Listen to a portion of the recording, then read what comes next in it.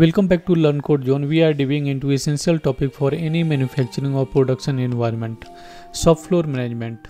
So in this video we will cover this topic introduction to shop floor management, key element of shop floor management, tool and technique for shop floor management, benefit of effective shop floor management, real world example and case study, conclusion and practice tips. Introduction to shop floor management. So what exactly shop floor management? Simply put it's a, it's the process it's the process of managing and optimizing everything that happen on the production floor. This include monitoring operation managing resources and ensuring the product quality all with the goal of increasing efficiency reducing waste and delivering high quality products. Let's break down the main element that make up effective floor management this is all about the keeping live view what's happening on the floor. By using dashboard and digital tools, manager can see the performance metrics in the real time, allowing them to quickly identify and fix issue before they become the major problem. Next is resource allocation.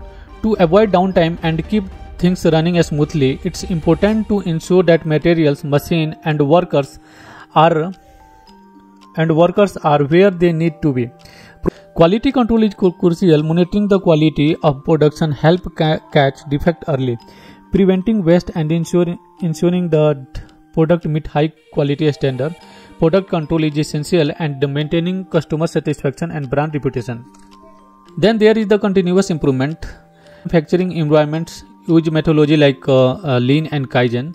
The idea of make a small consistent improvement over the time gradually boost efficiency, reduce waste, and increase overall quality.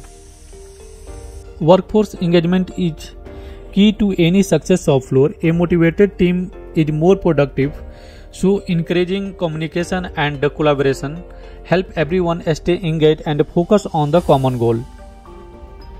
Finally, tracking performance metrics like cycle time, throughput, uh, the machine uptime allow manager to gauge how how operation operations are running to make adjustment and as needed.